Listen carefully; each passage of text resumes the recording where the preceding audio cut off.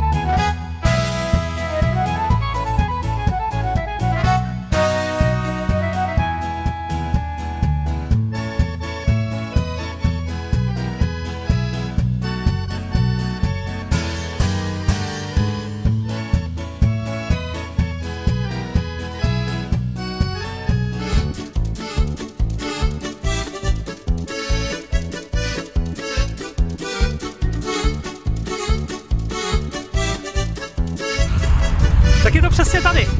Hele, krásný den dneska.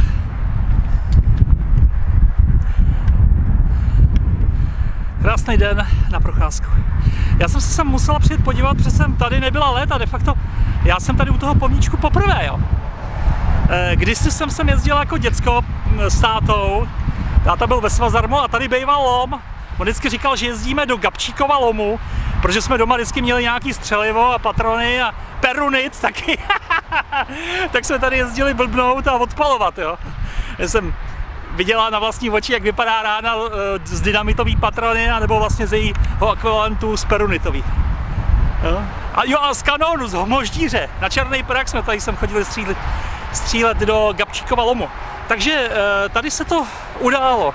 Koncem roku 1941, přesně 29. prosice, eh, v ranních hodinách, eh, tady se skočili tito stateční vojáci československých legií sloužící v Anglii, tak skočili tady. Ona to byla mílka, a měli původně skočit u Plzně, ale bohužel chybou navigace se dostali až sem a tímto se nehvězdy zapsali do dějin jako prvního kroku těchto parašutistů na našich územích. Jo?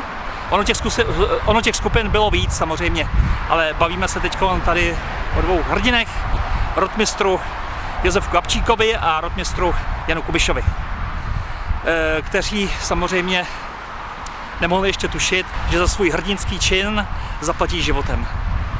Čest jejich památce.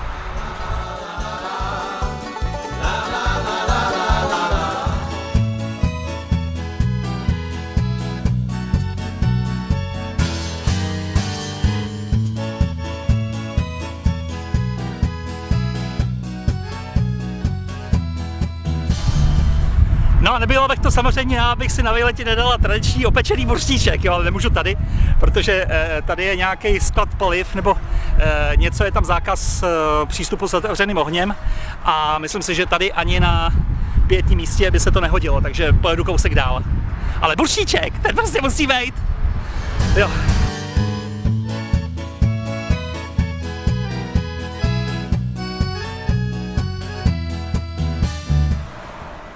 Jo, no jo. Hele, to je normálně stará železniční vlečka ze Mstětic. E, to vedlo tam někam k dolům, jo? Jak se těžil kámen. No tak tady teda určitě nic nejezdí už. No já o tom vím o té trati. To mě zajímalo. To se jednou určitě vypravím normálně po ní, po pěš, jako pěšky. No, kam dojdu? Do Mstětic, jo? Tím a tím směrem. Tady to prostě někde opeču. Tamhle.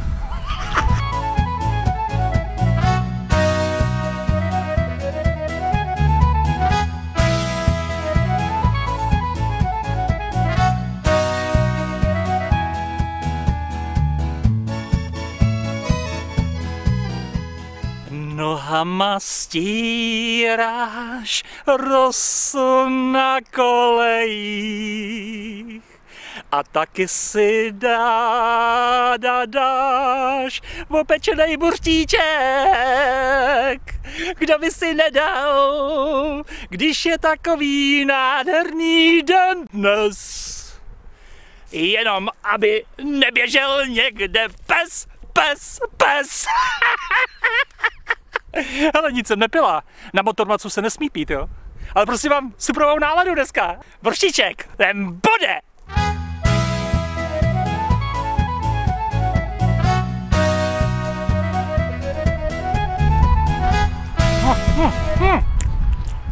Je to výborné!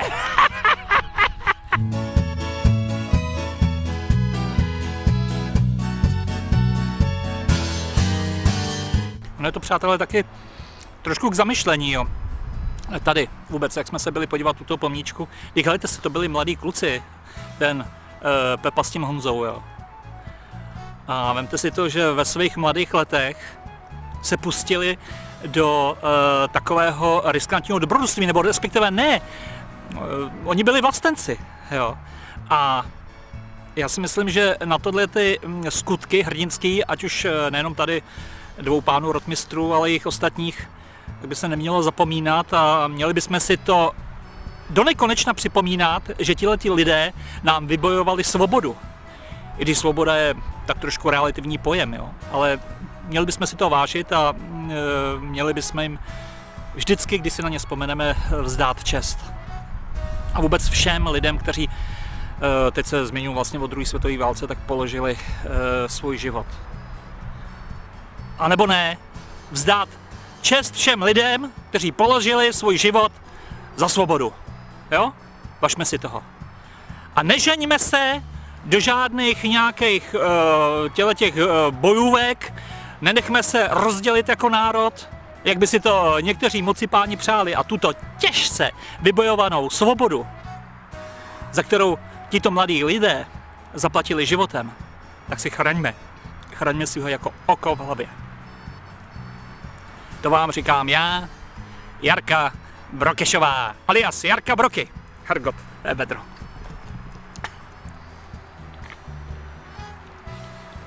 Já to dojím, poslední kousek.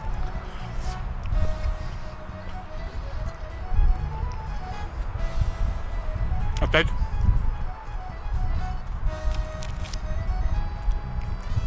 To tady musím všechno uklidit tak, zalejt oheň, teda nemám vodu, to vám filmovat nebudu, čím to zaleju.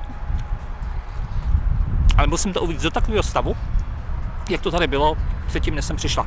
To je moje zásada.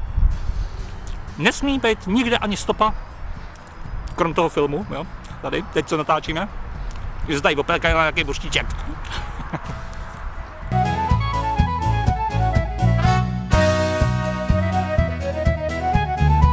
jo, tak já se s vámi teď tady rozloučím. E, jsem ráda, že jste mě sledovali, e, že jste si se mnou dali boštíček a že jsme všichni společně vzdali čest hrdinům. Ale vedro je teda. bych si přece jenom dala jedno točený, jsem jela kolem hospody.